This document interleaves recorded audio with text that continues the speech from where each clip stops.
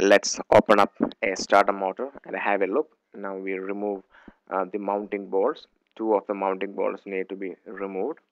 Okay. And we have already removed uh, the solenoid mounting bolt. So the solenoid is at the top. So we remove the solenoid. Okay. That's the solenoid been removed. Uh, that's the field uh, bracket cover been removed.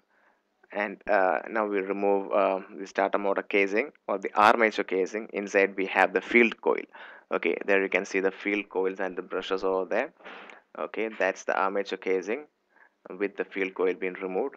That's the armature over there. So we remove the armature which has been engaged with the gear system. Okay now that's uh, the gear system which you can see which actually uh, transfers the power coming uh, from the armature towards the flywheel so let's uh, remove the gear system. That's a uh, internal gear you can see there. And uh, there are some external gears for number of small external gears also. It's a uh, single unit.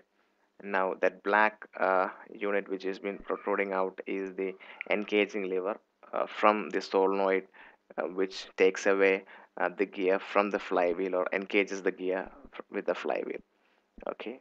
That gear which uh, you can see I'm rotating right now is the gear which is being linked with the flywheel. Okay. As it rotates you can see this uh, gear system also rotates. So that's how uh, the uh, RPM from the armature is being taken by the gear system and being transferred towards the flywheel.